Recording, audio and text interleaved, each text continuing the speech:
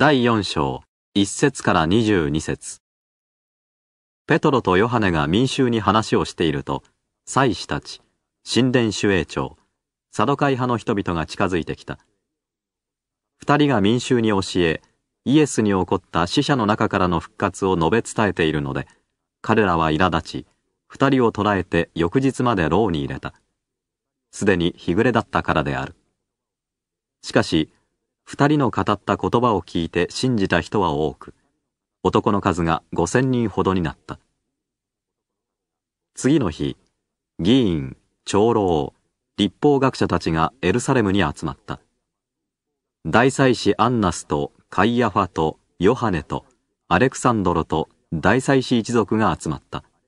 そして、人たちを真ん中に立たせて、お前たちは何の権威によって誰の名によってああいうことをしたのかと尋問した。その時、ペトロは精霊に満たされて言った。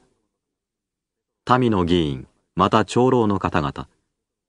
今日私たちが取り調べを受けているのは、病人に対する良い行いと、その人が何によって癒されたかということについてであるならば、あなた方もイスラエルの民全体も知っていただきたい。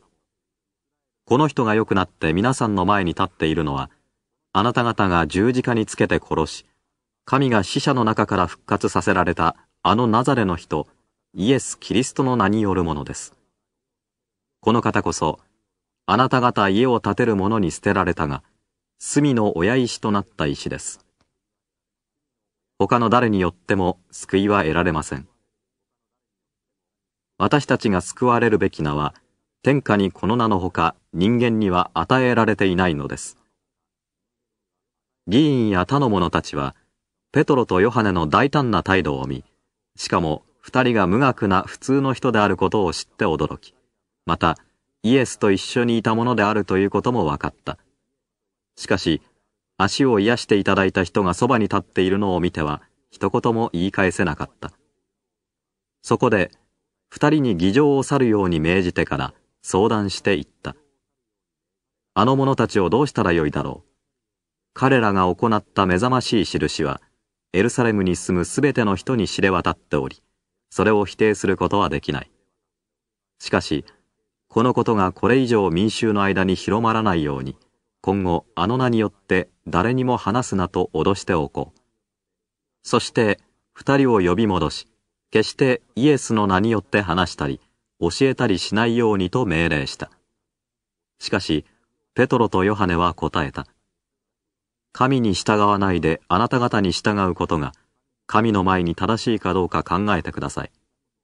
私たちは、見たことや聞いたことを話さないではいられないのです。議員や他の者たちは、二人をさらに脅してから釈放した。皆の者がこの出来事について神を賛美していたので、民衆を恐れてどう処罰してよいかわからなかったからである。この印によって癒していただいた人は40歳を過ぎていた。23節から31節さて二人は、釈放されると仲間のところへ行き、祭司長たちや長老たちの言ったことを残らず話した。これを聞いた人たちは心を一つにし、神に向かって声を上げて言った。主よ、あなたは天と地と海と、そしてそこにあるすべてのものを作られた方です。あなたのしもべであり、また私たちの父であるダビデの口を通し、あなたは精霊によってこうお告げになりました。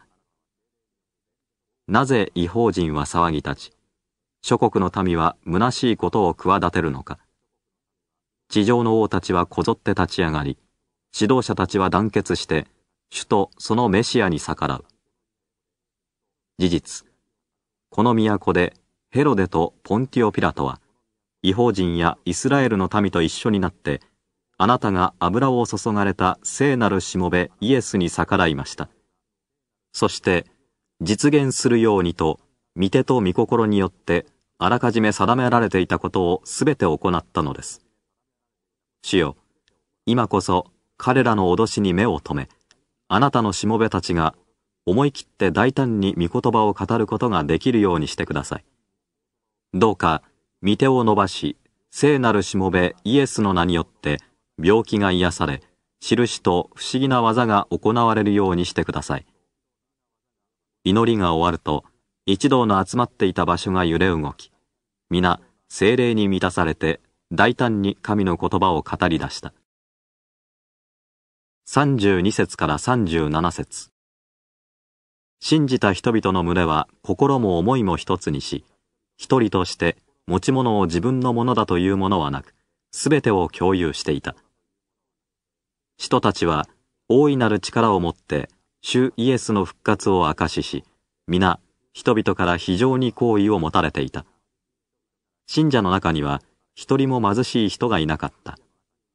土地や家を持っている人が皆、それを売っては代金を持ち寄り、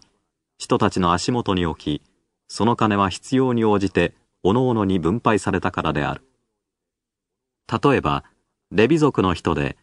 人たちからバルナバ、慰めの子という意味、と呼ばれていたキプロス島生まれのヨセフも、持っていた畑を売り、その代金を持ってきて人たちの足元に置いた。